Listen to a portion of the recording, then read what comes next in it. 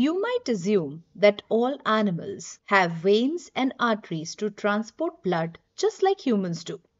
But in reality, many animals, including cockroaches, use completely different system. So, in this video, we are going to explore the circulatory system of cockroach Periplaneta americana. So let's begin. As we learned in the previous part of this series that unlike humans, cockroach do not have a hollow body cavity. Instead, they have a fluid-filled cavity. This fluid-filled cavity is called hemocoel. All the internal organs of a cockroach are suspended in this hemocoel. You can imagine it like a spacious internal chamber where organs float freely in a fluid. But this hemocoel isn't just one big open space. Rather, it is divided into three compartments and these compartments are called as sinuses. So, at the top, you can see a sinus called as pericardial hemocoel or the dorsal sinus which surrounds the heart.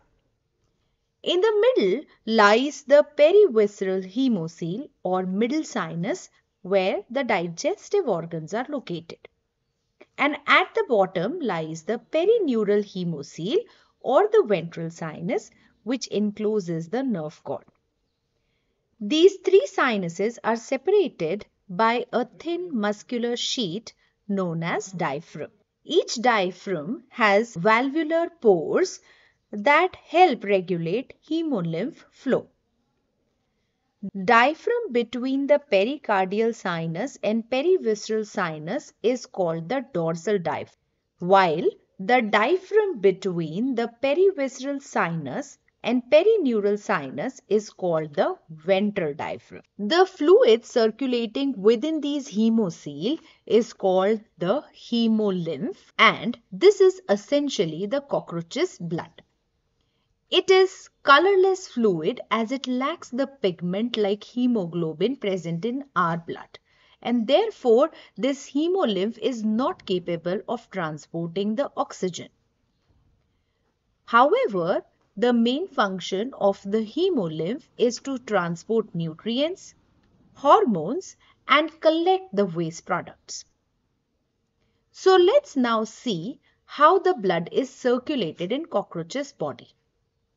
So in humans, we know that heart pumps the blood. And this blood flows within the network of tubes or the blood vessels at all times and never leaves them.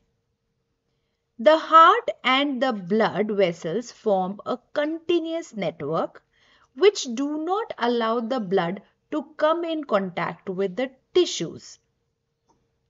Therefore, such a system is called a closed circulatory system. But cockroaches are different. The blood or the hemolymph is not confined to the blood vessels.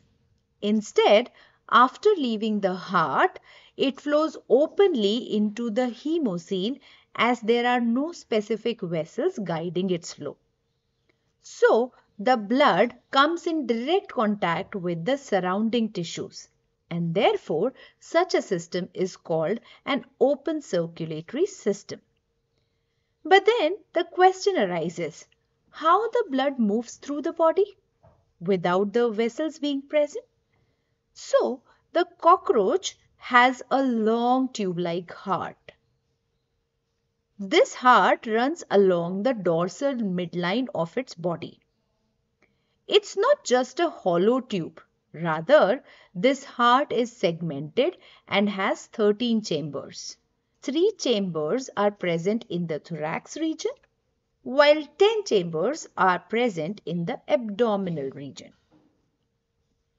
Each chamber has a small valve-like openings which are known as ostia. Unlike the human heart that beats in a rhythmic pattern, the cockroach's heart use wave-like movements. Such wave-like contractions are called as peristaltic contractions which are pushing the fluid as a bulge and then pushed forward. These peristaltic contractions are generated by a pair of alary muscles which are present in each segment. These alary muscles are triangular shaped muscles. The broader end of these muscles are attached to the pericardial diaphragm, while the pointed end of these muscles are attached to the tergum. When these muscles contract, they gently expand and compress the heart. Now, as you can see, these are the osteas which are the fine openings present in the heart. Now with each contractions, the hemolymph enter through the ostia and move forward towards the head from the back.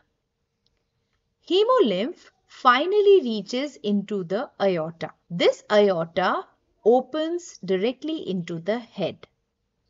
Once in the head region, the hemolymph is released into the hemocoel and flows freely around the organs. Apart from the alary muscles, there are a pair of lateral body muscles in each segment. These muscles, upon contraction, presses the body cavity, pushing the hemolymph through the open spaces in the hemocoel. Eventually, it returns the hemolymph to the pericardial sinus near the heart, ready to begin the cycle again. As a result, the hemolymph reaches all the organs of the body. So the circulation in cockroach is low pressure. It doesn't require the high pressure generated by heart as is done in case of humans. So this low pressure mediated circulation conserves energy and support the survival of cockroach. So let's quickly recap what we learned. Cockroaches have an open circulatory system. Hemocoel is the fluid-filled body cavity called as sinus. Hemocoel is divided into three sinuses, pericardial, perivisceral and perineural. Hemolymph is also known as cockroach blood which is colorless and lacks hemoglobin. Hemolymph transports nutrients, hormones and removes waste. Oxygen is not carried by the blood. The cockroach heart is 13 chambered, lying along the dorsal midline. Blood enters the heart through ostia and is pushed forward by peristaltic contractions. Contractions are mediated by a pair of alary and lateral body muscles. Circulation is low pressure, conserving energy and supporting survival. In a sense, the cockroach's circulatory system is not just different, it's perfectly evolved for the survival. So, in our next video, we'll uncover how oxygen is transported without blood through a completely separate respiratory network.